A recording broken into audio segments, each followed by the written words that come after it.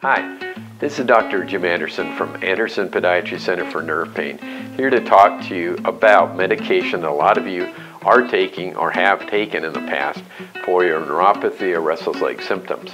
The two drugs I'm referring to are Lyrica and Neurontin, and you can refer to another video that we already have about these two medications that talk about how they work and their side effects. But the primary thing in this video I want to talk about is probably one of the worst side effects, which is weight gain.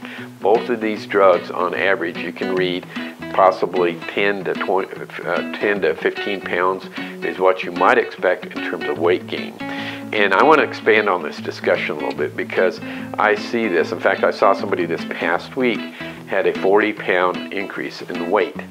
And this past year, I probably have had three, maybe four people that have gained 60 pounds. I mean, Listen to that 60 pounds. That's a lot of weight to be carrying around that you didn't have. Uh, and I want you to just pause for a minute and think about what that means. It can mean increased blood pressure, okay? It, with that weight, it could mean if you don't have diabetes already, more potential to have diabetes. And, and then you would then uh, understand that that could also have a bad effect on nerves. You have nerves that aren't working well, and you take the medication and now you go into a diabetic state, well, that's even less healthy for your nerves. And then finally, uh, just the basic concept of, you know, that added weight and stress on your feet.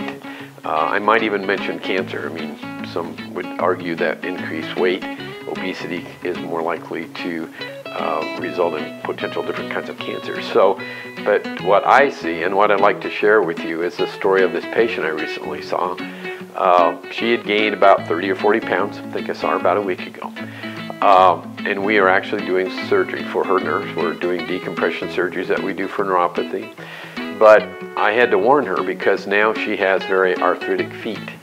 And a lot of it was there. She had the potential for it. She kind of had a foot structure, pretty flat footed, that could lead to arthritis as you get older.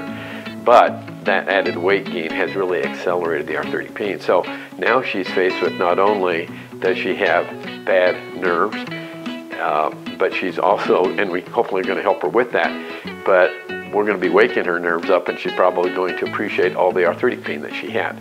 A lot of this though was occurring because of the medication.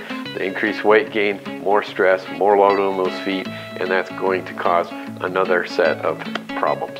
Uh, not systemically, not with the heart and high blood pressure, but down in the lower extremity. So just something really uh, seriously I'd like you to consider when you're talking about these medications is this problem that we see more and more of weight gain. So if you'd like any more information as to how we go about helping with your nerve conditions that are non uh, you know, non-pharmaceutical, please call us or visit our website at andersonpodiatrycenter.com. Thank you.